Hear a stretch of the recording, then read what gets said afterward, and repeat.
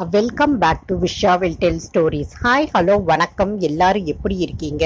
First of all என்னோட வியூவர்ஸ்க்கும் கஸ்டமர்ஸ்க்கும் சப்ஸ்கிரைபர்ஸ்க்கும் வெல்விஷர்ஸ்க்கும் என் தேங்க்ஸை convey பண்ணிக்கிறேங்க. இந்த நாள் உங்கள் எல்லாருக்குமே இனிமையான நாளாக இருக்கணும் அப்படின்னு விஷ் பண்ணுறேங்க இன்னைக்கு நம்ம இந்த வீடியோவில் கேட்க போகிறது ஐம்பத்தி எட்டாவது அத்தியாயம் உயிரோடு உறவாடும் காதலே.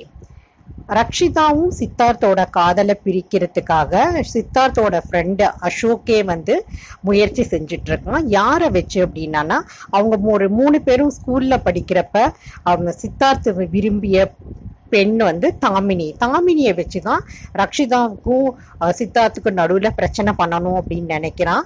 அவன் எப்படி பிரச்சனை பண்றான்? அது எங்கே போய் முடியுதுங்கிறது தாங்க இந்த எபிசோடு வாங்க கதைக்குள்ள போயிடலாம். அங்கே சித்தார்த் தாமினி தனது கையை வைத்துக்கொண்டு கண் கலங்கிக் கொண்டிருந்தான். ரக்ஷிதாவின் இதயம் வெடித்து சிதறியது போலிருந்தது. அவள் இதயமே அவள் நெஞ்சை விட்டு வெளியே வந்துவிட்டது போல கோபத்திலும் சொல்லா சொல்ல முடியாத வேதனையிலும் துடித்துக் கொண்டிருந்தது போலிருந்தது. யாரோ திடீரென்று வந்ததை உணர்ந்த சித்தார்த்தும் தாமினியும் சட்டென்று திரும்பி பார்த்தார்கள். கண்கள் சிவந்து அகோரமாக பார்த்து கொண்டிருந்தாள் ரக்ஷிதா. பதை பதைத்து போனான் அவளை பார்த்த சித்தார்த். சித்தார்த்துக்கு ஏற்கனவே சொல்லியிருந்தாள் தாமினி ரக்ஷிதா வருவாள் அதற்குள் நீ கிளம்பு என்று. ஆனால் அதற்குள் இவ்வளவு சீக்கிரமாகவா? கொஞ்சம் கூட எதிர்பார்க்கவில்லை. அந்த நயவஞ்சகன் அசோக் மிகவும் பக்காவாக நேர்த்தியாக திட்டம் போட்டு அதுவும் மிகவும் வேகமாக அவனை வரவழைத்து விட்டிருந்தான் என்பதை அவன் உணர்ந்து கொண்டான். உடனே தாமினி அவசரமாக தன் கையை பிடித்திருந்த அவன் கையை உதறிவிட்டு பயத்துடன் எச்சிலை விழுங்கிக் கொண்டாள். அப்பொழுதுதான் அவன் தான் செய்து கொண்டிருந்த தவறை அவசரமாக உணர்ந்து கொண்டான். உடனே அவன் சுதாரித்துக் கொண்டு ரக்ஷி ரக்ஷி எப்படி வா ரக்ஷி வா வந்து உட்காரு என்று நாக்கு குழம்பினான். தான் என்ன செய்ய போகிறோம் என்பதை உணர்வதை மணர்ந்தாள். அவளுக்கு அழுகை வந்தது கண்கள் மேலும் சிவந்தன. அவளுக்கு இ- இப்போ எங்கே நிற்கிறோம் என்பது கூட மறந்து போகி போய்விட்டது. கண்ணீர் மாறாக பெருக ஆத்திரமும் ஏமாற்றமும் உடல் முழுகுவதும் பாய டேபிளில் பழ ஜூஸ் நிரப்பப்பட்டு அவர்கள் குடிக்க ஆயத்தமாக இரண்டு பெரிய கிளாஸ்கள் இரண்டும் அவள் கண்ணில் படி பட்டது. அதில் ஒரு கிளாஸை எடுத்து கோபா வேசத்துடன் வேகமாக அவன் மேல் கொட்ட திகைத்து போய் அதிர்ச்சியில் விரைந்து நின்றான். அந்த மிக்ஸ் பழ ஜூஸ் சிவப்பு ஆரஞ்சு நிறங்களில் இருந்ததால் அவனுடைய வெள்ளை ஷர்ட் அப்படியே சிவப்பானது. அவன் கழுத்து மற்றும் நெஞ்சுக்குள் ஜூஸ் ஊர்ந்து கொண்டிருக்க இங்கே என்ன நடக்கிறது என்பதை யூகிப்பதற்குள் ரக்ஷிதா அவனது தடைமுடியை பிடித்து இழுத்தாள். பின் அவன் கழுத்தை பிடித்து இருக்கினாள் கோபத்தோடு. அதை பார்த்த தாமினி செய்வதறியாது திகைத்து பயத்துடன் மனதிற்குள் அடி ஆத்தாடி என்னதான் நடக்குது இங்கே? என்று பதறினாள். எந்திரிக்கவும் முடியாமல் வெளியே ஓட ஓடவும் முடியாமல் அவளும் விரைந்து போய் உட்கார்ந்திருந்தாள். பின் ரக்ஷிதா என்ன நினைத்தாளோ தெரியவில்லை. உடனே அழ ஆரம்பித்தாள். அழுகையின் இடையே அவள் குரல் உடைந்து தெரித்தது வான்னு வேற வரவேற்கிறியா? அப்புறம் வந்து உட்கார்ந்து வேற சொல்லுவியா? எங்கடா உட்கார்றது? உன் தலையிலயா உட்கார்றது? லவ்வர்ஸ் கூத்தழிக்கிற நேரத்துல நீயும் அவளும் ஒத்தர ஒத்தர கையை பிடிச்சிட்டு காதல்ல உருகிட்டு இருக்க இடத்துல சீ என்று அவள் அழுகை மேலும் வெடித்து சிதறியது. இப்போது அவள் பேசிக்கொண்டிருப்பதை கேட்டு அவளை சமாதானப்படுத்துவதா அல்லது தப்பாக புரிந்து கொண்டு இப்படி அமர்க்களம் செய்கிறாளே என்று அவள் மேல் கோபப்படுவதா? இல்லை. தான் ஒரு டாக்டர் என்பதை மறந்து தன் மேல் ஜூஸை கொட்டி அவமானப்படுத்தியதற்கு இரண்டு அறை விடுவதா? இல்லை ரெஸ்ட் ரூம் போய் ஜூஸ் கொட்டப்பட்ட ஷர்ட்டை தண்ணீரால் கழுவுவதா? என்ன செய்வது என்று தெரியாமல் ஒரு கணம் ஆடிப்போய் நின்றிருந்தான் சித்தார்த். பின் மெல்ல பொறுமையாக மெல்ல கையில் எடுத்து ரக்ஷிதாவிடம் இத பாரு ரக்ஷிதா நீ நினைக்கிறது போல இங்க எந்த தப்பும் நடக்கல என்று சொல்லி முடிக்கவும் அவள் கோபம் மீண்டும் தலைக்கேற கோபத்தோடு மீண்டும் கத்தினாள். பேசாத கொன்னுடுவேன். இவ்வளவு கேவலமாவனா இருப்பேன்னு நான் கொஞ்சம் கூட எதிர்பார்க்கல. இங்க என்னடா பண்ண முடியும்? பேசத்தானே முடியும்? கைகளையும் கைகளையும் பிடிக்கத்தானே முடியும்? அதுக்கு அச்சாரமா தானே இங்க வந்திருக்க? சித்தார்த்துக்கு இப்போ கோபம் தலைக்கேறியது. என்னடி லூசு மென்டல் நீ படிச்ச பொண்ணு தானே. இப்படி பப்ளிக்ல டீசென்ட் இல்லாம நடந்துக்கிற? வெக்கமா இல்ல? அது ஒரு டாக்டரா இருந்துட்டு ஏன்டா டாக்டரா இருந்தா அவளுக்குன்னு ஒரு இதயம் இருக்காதா? அவளுக்குன்னு ஒரு உணர்ச்சி இருக்காதா? ராஸ்கல் ஃப்ராடு சனிய மூதேவி என்னை ஏமாத்திட்டல்ல. உன்னை சும்மா விடமாட்டேன் பார்றா என்று அவனுடைய கன்னத்தை அறைய கையை உயர்த்த அவன் வேகமாக அவன் கைகளை தடுத்து நிறுத்தி கைகளை மடக்கினான். பின் அவன் இருக்கையிலேயே வேகமாக எழுந்து அந்த இருக்கையில் தள்ளிவிட்டு அவளை உட்கார வைத்தான். நல்ல வேலை இந்த இடத்தில் அவர்கள் மூவரை தவிர வேறு யாரும் இல்லை. அவள் கோபத்திலும் படபடப்பிலும் மூச்சிரைத்தாள். கண்ணீர் மேலும் கன்னத்தில் வழிந்து கொண்டிருந்தது. அவன் கிளாஸில் தண்ணீரை நிறைத்து அவளிடம் நீட்டி ப்ளீஸ் ரக்ஷி முதல்ல இத குடி. அப்புறமா நிதானமா பேசலாம் என்று சொன்னதுதான் தாமதம். அவன் அவளுடைய கையில் இருந்த கிளாஸை கோபத்தில் தட்டிவிட்டு கத்தினார். ஏன்டா பண்றதையும் பண்ணிட்டு இப்ப வந்து கூல் கூல் பண்றதுக்கு தண்ணி வேற குடுக்குறியா? ஏண்டா? ஏன்டா இப்படி பண்ணுன? நான் என்னடா பண்ணுனேன் உனக்கு? எனக்கு வாழ்க்கையில எவனும் வேணான்னு தானடா இருந்தேன். சிவனேன்னு தானடா என் வாழ்க்கையில போயிட்டு இருந்தேன். நல்லவன் போல நடிச்சு என் பின்னாடியே சுத்தி சுத்தி என்னை லவ் பண்ண வச்சு ஏமாத்திட்டியாடா. நீ நல்லா இருப்பியா? ஃப்ராடு ஃப்ராடு ஃப்ராடு அவள் திக்கினாள். மனம் உடைந்தான் சித்தார்த். நிச்சயம் அவளை பின்பு சமாதானப்படுத்தி விடுவேன் என்ற நம்பிக்கை அவனுக்கு இருந்தது. ஆனால் இப்போது உடனே எப்படி சமாதானப்படுத்துவது என்பது தெரியாமல் விழித்தான். ச்சே அவசரப்பட்டுட்டாளே என்று வந்த கோபத்தை ஒரு மாதிரி அடக்கி கொண்டு இங்கே பாரு ரக்ஷி நீ சொல்றது கரெக்ட் தான். உன் பார்வையில இது தப்பாதான் போடும். ஆனா அதுல உண்மை இல்ல. முதல்ல நான் சொல்றத பொறுமையா கேளு. ப்ளீஸ் அப்புறம் உனக்கே புரியும் உண்மை என்னன்னு. எந்த உண்மை? பண்ற தப்ப மறைக்கிறதுக்கு கதை சொல்ல போறியா?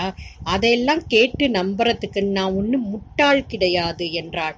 உடனே தாமதியை பார்த்து ஏண்டி உனக்கு வெக்கம் ரோஷம் மானம்னு ஒண்ணுமே கிடையாதா? அவன்தான் உன்னை வேணான்னு அப்பவே உன்னை விட்டுட்டு வந்துட்டான்ல. அப்புறம் எதுக்குடி இப்ப வந்து என் வாழ்க்கையை நாசமாக்க வந்த? என்று சொன்னதும் தாமினி பதறிப்போய் சொன்னாள். இல்லங்க நான் அப்படி இல்லைங்க என்று பதறியபடி பேச ஆரம்பித்த தாமினியை பார்த்து அறைய கையை ஓங்கிவிட்டு பின் த கையை நிறுத்திவிட்டு வாய மூடிடி. அப்படியே சப்புன்னு போட்டுடுவேன். தப்பு பண்றவங்க தப்பு எப்பதான்னு ஒத்திட்டு இருக்காங்களா தப்புக்கு ஒரு நியாயம் வேற என்று சொல்லிவிட்டு சித்தார்த் பக்கம் திரும்பி இங்க பாரு நீ உன்னோட மன்மத லீலையை தாராளமா நடத்து. எனக்கு எந்தவித ஆட்சேபனையும் இல்லை. அதுதான் நீ மன்மத ராசாவாச்சே. நல்லா பண்ணு. ஆனா உன்னை மட்டும் நல்ல மனசுல வச்சுக்கோ. இனிமே என் மூஞ்சில நீ முழிக்கவே கூடாது என்று அவள் முகத்திலும் ஏமாற்றத்திலும் துரோகத்திலும் சிவந்த துடி துடித்தபடியே சொல்ல சித்தார்த்த பதறினான். என்னடி சொல்ற? லூசா நீனு? பாரு டீ போட்டு பேசுறதெல்லாம் வச்சுக்காத. இனி இப்ப மட்டும் இல்ல இந்த ஜென்மத்துல உனக்கும் எனக்கும் எந்த ஒட்டும் கிடையாது எந்த உறவும் கிடையாது. சாரி சாரி இந்த ஜென்மத்துல மட்டுமில்ல போன ஜென்மத்திலையும் கிடையாது ஏன் அடுத்த ஜென்மத்திலையும் கிடையாது. நான் வர்றேன். சி நான் போறேன். இனிமே ஒரு வார்த்தை கூட என்கிட்ட பேசக்கூடாது. என்று விட்டு வேகமாக எழுந்து அவனை வேகமாக தள்ளிவிட்டு அவள் வேகமாக வெளியே நடக்க அவள் தள்ளிய தள்ளையில் சுவரோடு மோதி தட்டு தடுமாறி ஒரு கணம் திக்பிரமை பிடித்து சாய்ந்து நின்றவன் பின் சுதாரித்துக் கொண்டு உடனே அவள் பின்னால் ஓடினான். அதற்குள் அவள் வேகமாக காரை நிறுத்தி வைத்திருந்த இடத்திற்கு போய் காரில் ஏறி காரை ஸ்டார்ட் பண்ணி கொண்டிருந்தாள். உச்சக்கட்ட கோபம். அவளை இவ்வளவு வேகமாக நடந்து வர வைத்திருப்பதை நினைத்து ஆச்சரியப்பட்டுக் கொண்டு காரின் இடது பக்க இருக்கையை கதவை திறக்க முயற்சி செய்தான். அது உள்ளே லாக் பண்ணியிருந்ததால் திறக்க முடியவில்லை. அப்படியே அவள் அமர்ந்திருந்த இருக்கை பக்கம் வந்து கதவை திறந்தான். அவள் கோபத்தோடு அவன் திறந்த கதவை இழுத்தி சார்த்தி மூடினாள். ஐயோ அம்மா என்று அல அலறினான். லேசாக கை அந்த கதவின் இடுக்கில் மாட்டிக்கொண்டு பின் டக்கென்று விடுபட்டது. நல்ல வேளை கொஞ்சம் அசந்திருந்தால் விரல் துண்டாயிருக்கும். அவன் கோபத்தில் கத்தினாள். ஏண்டி ஏண்டி பண்ற மென்டலு? பாரு எல்லோரும் பாக்குறாங்க. அசிங்கமா இருக்கு. முதல்ல இறங்குடி. அவன் கத்தியதை அசட்டை செய்து கோபத்தோடு ஆக்சிலரேட்டரை கொடுத்தாள். கார் விற்றென்று பறந்தது. அந்த காரின் வேகம் அவளின் கோபத்தை மொழி பெயர்த்தது. தலையின் கை வைத்துக் கொண்டே கார் போன திசையை நோக்கி பார்த்து கொண்டிருந்தார். அப்போது ஒரு சர்வர் வந்து எனி ஹெல்ப் சார் என்றான். சித்தார்த் அவனை கோபத்துடன் திரும்பி பார்த்துவிட்டு தன் கையை காட்டி போடா என்று சொல்லிவிட்டு திரும்பி நடந்தான். அப்பொழுதுதான் உணர்ந்து உணர்ந்து கொண்டான். அவனுடைய சட்டையில் ஜூஸ் ஊட்டப்பட்டிருந்த இடத்தில் சிவப்பு நிறமாய் ஈரம் படர்ந்திருந்தது. அங்கிருந்தவர்கள் அவனையே வேடிக்கை பார்த்து கொண்டிருக்க அவமானமாக வேறு இருந்தது. மை காட் என்ன பண்ணிட்டு போயிருக்கா கடவுளே? என்று மனதிற்குள் யோசித்தபடி அவசரமாக ரெஸ்ட் ரூம் போனான். அங்கே குழாயில் தண்ணீரை திறந்துவிட்டு ஷர்ட்டை கழுவ ஆரம்பித்தான். அடக்கடவுளே அவன் உதடுகள் தன்னையும் அறியாமல் பிதற்றியது. தண்ணீரில் கழுவ கழுவ ஷர்ட் கரை மேலும் மோசமாகியது. இந்த ஷர்ட்டோட கேவலத்தோட இப்படியே வெளியில போனா பாக்குறவங்க என்ன நினைப்பாங்க? ச்சே என்று சலித்து கொண்டு ஷர்ட்டை சுத்தம் பண்ணி பனி தோல்வி அடைந்து மீண்டும் தாமினி இருக்கும் கேபினுக்குள் நுழைந்தான். அதேவேளை ரக்ஷிதா காரை ஓட்டிக்கொண்டு போயிருக்கும் போது போன் ரிங் பண்ணியது. எடுத்து பார்த்தால் சித்தார்த் தான் சினத்தோடு போனை சைலண்டில் வைத்துவிட்டு காரை தொடர்ந்து ஓட்டினாள். அவள் கண்களில் இருந்து கண்ணீர் வடிந்து கொண்டிருந்ததால் பார்வை லேசாக மங்கலாகி கொண்டிருந்தது. காரை ஓரிடத்தில் நிறுத்திவிட்டு கைக்குட்டையை எடுத்து கண்களை துடைத்து கொண்டாள். பின்னர் மீண்டும் காலை செலுத்த ஆரம்பித்தாள். செலுத்திக் கொண்டே இருந்தவள் மனம் மேலும் உடைந்து கொண்டே போனது. வாழ்க்கையே பறிபோனது போல இருந்தது செத்து விடலாம் போல இருந்தது. இவ்வளவு காலம் கஷ்டப்பட்டு படித்து டாக்டர் ஆகியது மக்களுக்கு சேவை செய்யும் பாக்கியம் கிடைத்ததற்கெல்லாம் எல்லாவற்றிற்கும் எந்த அர்த்தம் இல்லாமல் போனது போல் இருந்தது. வாழ்க்கையின் பிடிப்பு மொத்தமாக கைவிட்டு போனது போல் இருந்தது. அவனை சந்தித்ததற்கு முன்னர் இப்படி இருந்ததே இல்லையே. கண்கள் அவளை மீறி கலங்கி கண்ணீரை கன்னத்திற்குள் விரட்டியது. இங்கே அவனை தனியாக விட்டுவிட்டு வந்தது கூட அவளுக்கு கஷ்டமாக இருந்தது. திடீரென்று அவளுக்கு பக் என்றது. அவனை தனியா எங்கே விட்டுட்டு வந்தோம்? அவளுடன் அல்லவா விட்டு விட்டு வந்திருக்கிறோம்? முட்டாள்தனமாக காரியம் பண்ணிவிட்டோம் என்று மனது சாடியது. என்ன செய்து கொண்டிருக்கிறாள் என்பதையே மறந்து விட்டிருந்தாள். உடனே காரை யூடோன் அடித்து திருப்பினாள். வேகமாக அந்த மாலுக்குள் கார் வேகமாக நுழைந்தது. பார்க்கிங்கில் காரை அவசரமாக நிறுத்திவிட்டு வேகமாக உள்ளே நடந்தாள். அந்த காப்பின் கப்புள் கேபினுக்குள் உள்ளே நுழைந்தாள். அவனோ இருக்கையில் அமர்ந்து கொண்டு தலையில் கையை வைத்துக்கொண்டு ஏதோ ஆழமாக யோசித்துக் கொண்டிருந்தாள். அவன் எதிரே தாமினியும் ஏதோ யோசித்துக் கொண்டிருந்தாள் சோகமாக. திடீர் என்று அவளை மீண்டும் அங்கே பார்த்ததில் சித்தார்த் மீண்டும் திகைத்து போனான். உடனே ரக்ஷி என்று எழுந்தான் இருக்கையை விட்டு. ரக்ஷிதா கோபத்தோடு சொன்னாள் கிளம்பு முதல்ல கிளம்பு என்றாள். ரக்ஷி வந்துட்டியா? தேங்க்ஸ் ரக்ஷி என்று சந்தோஷத்துடன் வாய மூடு நான் சமாதானம் பேச வரல. நீ இங்கு இருக்கக்கூடாது. முதல்ல இங்கிருந்து கிளம்பு என்று இறைந்தாள். இதற்கு மேலும் ஏதாவது பேசினால் நிச்சயம் அடுத்த ஜூஸ் கிளாஸ் அவன் தலையில் தான் விழும் என்பது அவனுக்கு புரிந்து கொண்டிருந்தது. அதனால் வேறு எதையும் சிந்திக்காமல் மௌனமாக தாமினியை திரும்பி கூட பார்க்காமல் அவன் வெளியே வந்தான். ரக்ஷிதா தாமினியை ஒரு மாதிரி முறைத்துவிட்டு அவளும் வெளியே வந்தாள். அவள் அவனிடம் போய் கார்ல ஏறு என்றான். காரிலா எங்க ரக்ஷி? என்றான். புரியாமல். இத பாரு ரக்ஷின்னு பே செல்ல பேர் வச்சுட்டு கூப்பிட்ட மரியாதை கெட்டுடும் பார்த்துக்கோ என்றாள். உதடுகள் கோபத்தில் நடுங்க சரி மித் ரக்ஷிதா பிரசாந்த் ராஜ் இப்ப நான் எதுக்கு உங்க கார்ல வரணும் தெரிஞ்சுக்கலாமா? ஏன்னா என்னோட பைக்கை இங்க நிறுத்தியிருக்கேன். அதை நான் எடுத்துட்டு வரணும். அது இங்கே கிடைக்கட்டும். முதல்ல நீ கார்ல ஏறு. உன்னை கொண்டு போய் சேர்க்க வேண்டிய இடத்துல சேர்த்துட்டு நான் கிளம்புறேன். சேர்க்க வேண்டிய இடத்துல? புரியல. எங்க? உன் வீட்டுல தான் உன் அம்மா கிட்ட தான் உன்னை சேர்த்துட்டு இனிமே உனக்கும் எனக்கும் சம்பந்தம் இல்லைன்னு சொல்லிட்டு அம்மா கிட்ட உன்னை பொறுப்பு கொடுத்துட்டு நான் போறேன். ஏண்டி சாரி ஏங்க நான் என்ன கோயில் திருவிழாவில் காணாம போன குழந்தைய தேடி கண்டுபிடிச்சு அம்மா கிட்ட ஒப்படைக்கிறது? நானே போய்க்கிறேன் பைக்கை இங்க விட்டுட்டு நான் எப்ப வந்து எடுக்கிறது? நீ வீட்டுக்கு போ நான் வரேன். ஓ அவளை டிராப் பண்ணணும்ல நான் யோசிக்கல எனக்கு தெரியாம போச்சு. கோபம் மீண்டும் முகத்தில் தாண்டவமாடத் தொடங்கியது. லூசா நீனு உண்மை என்னங்கிறத சரியா கேட்டுக்காம இப்படி அபாண்டமா பழிய சொல்லிட்டு இருக்க நீ ஒண்ணு எனக்கு விளக்கம் கொடுத்து கிழிக்க வேண்டாம். நான் சொல்றத கேட்டு நடந்துக்க. நான் ஒன்றும் முட்டாள் இல்ல. முதல்ல கார்ல ஏறு. இப்போ அவனுக்கு கோபம் தலைக்கேறியது. ச்சே இவ என்ன பண்றா? என்று சலித்தபடி ஏதோ யோசித்தான். இந்த பிடிவாதக்காரி தன்னோட பிடிவாதத்தை கொஞ்சமும் விடமாட்டாள். தாமியுடன் பேசிக் கொண்டிருந்ததை அம்மாவிடம் போட்டுக் கொடுக்க போகிறாள்.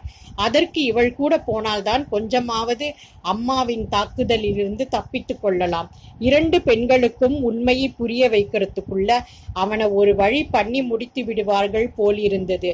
சரி வர்றேன் என்று கார் பார்க்கிற்குள் நடக்க ஆரம்பித்தவன் பின் ஏதோ யோசித்தவன் நின்றான்.